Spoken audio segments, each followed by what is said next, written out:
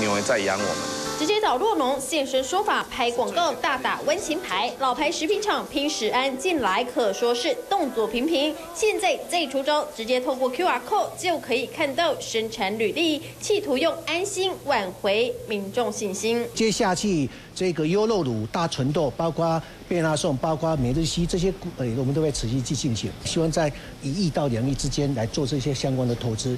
在幕后操刀的就是他，堪称老牌食品厂的最佳救援。新任执行长苏守斌不仅曾任职多家外商，打响包括邦宝适、飞柔，甚至克林奶粉等品牌，更是六年前让味全成功由亏转盈的重要推手，还打造出不少明星商品。嗯，好香啊！像是和张艾嘉合作以一头牛到你家的鲜奶广告，堪称经典代表作。还有找来明星范文芳代言果汁，同样也大卖。现在再度被延揽回锅，让苏守斌坦言压力。还真不小，是是是，挑战是比以前高一点，但是不管怎么讲，呃。